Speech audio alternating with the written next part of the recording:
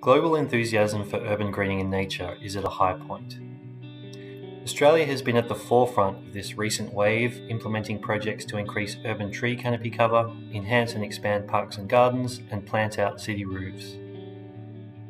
Understanding and rethinking our relationship with the environment is critical for cities to adapt to and reduce the consequences of climate change.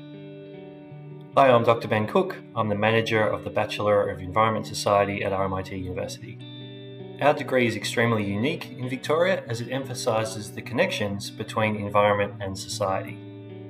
This degree highlights the social elements of environmental issues, providing graduates with vital knowledge and essential skills in communicating and critical thinking, which prepares our graduates for a dynamic sustainability sector.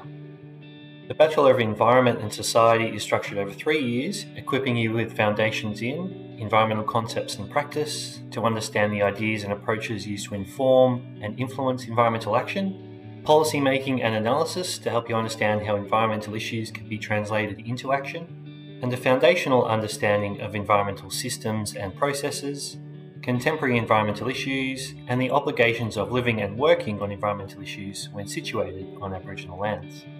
You also have the opportunity to do applied learning through research projects with external partners, your own environmental project, and work placement experiences, with opportunities for you to select electives of your own choice to deliver you a well rounded education. In this course, we encourage our students to take advantage of the opportunity to apply your knowledge to real world projects in international contexts. Our students have participated in projects in countries such as Spain, Vietnam, Nepal, and in parts of Latin America. Students can undertake semester long study overseas at our partner universities in Hong Kong, Canada, Denmark, Sweden, the Netherlands, or the Philippines. You can also complete this course as part of the double degree Bachelor of Environmental Science, Bachelor of Environment and Society.